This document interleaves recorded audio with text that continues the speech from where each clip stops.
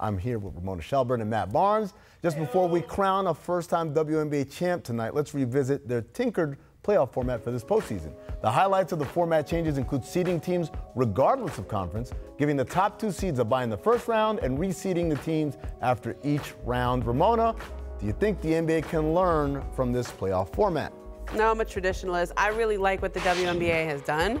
I think we've seen the two best teams in the in the finals mm -hmm. the mm-hmm. last few years. Whether it was the Sparks and the Lynx, now it's the now it's Washington and, and Connecticut. I like that. It fits better with the WNBA because they have such a short season and you have such a short playoffs. I don't love their like one game playoff, mm. game, one, like it's like the NCAA tournament or something. Yeah. But I do. I, I'm a traditionalist. I like Eastern Conference, Western Conference. I think that stuff evens out over time. Like right now, we're in a stage where it's hard to make it out of the West.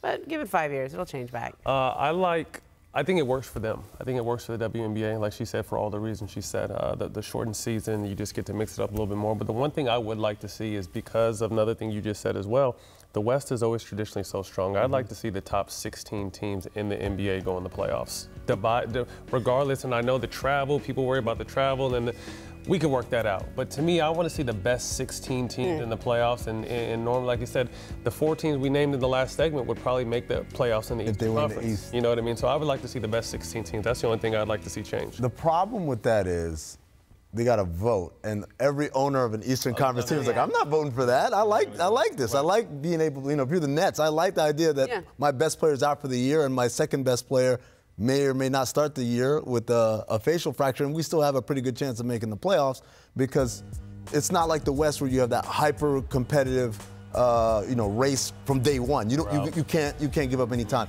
I'll tell you one thing I want to see. Uh, they did this in the G League a few years ago, where the top seeds get to pick who they play. The one seed picks out of all the, really? the lower seeded teams. I don't know. Out of five, six, seven, eight, you pick who you want to play, and then the two picks whoever's left, and then the three, and then obviously four picks whoever's last.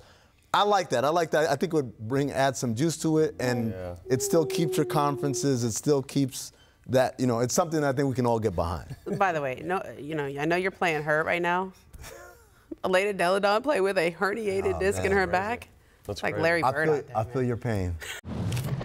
So much for watching ESPN on YouTube. For more sports analysis and highlights, download the ESPN app. And for live streaming and premium content, subscribe to ESPN Plus.